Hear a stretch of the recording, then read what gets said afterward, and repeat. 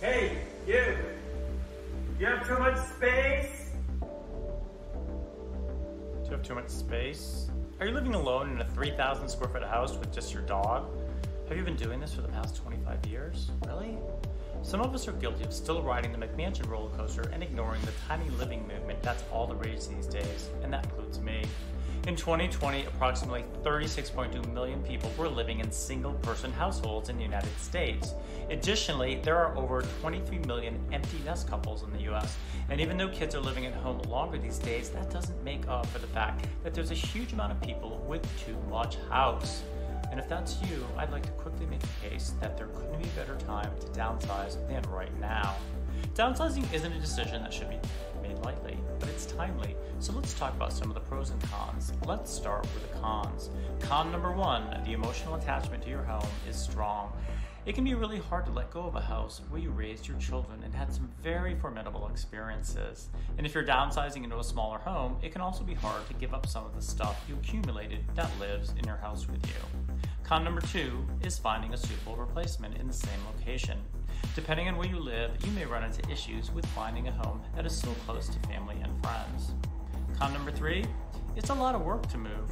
Going through all of your stuff, making decisions on what to keep and what to toss or donate, and packing everything up can all be huge and draining.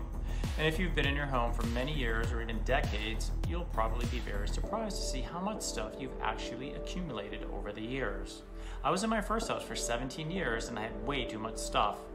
Even if you don't move on a regular basis, every two or three years, you should pretend to move just to get rid of stuff. You'll thank me when you do move for real. But let's talk about why most people might want to downsize. Number one, because it's liberating. Simplifying your space means less complexity, fewer things to keep track of, less to clean, and fewer moving parts in your life. Number two, it provides peace of mind for a lot of people when they realize they aren't leaving their loved ones with a huge sifting and sorting project once they're gone. In other words, when it's your time to take that big dirt nap, don't burden your loved ones with wading through all your hordes of junk. When I temporarily moved to Minneapolis, I took only enough stuff to furnish a one bedroom condominium.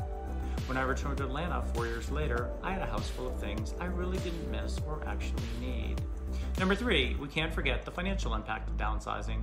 Having a smaller house not only means less of a mortgage, but it also means it costs less to maintain it and keep it heated and cooled.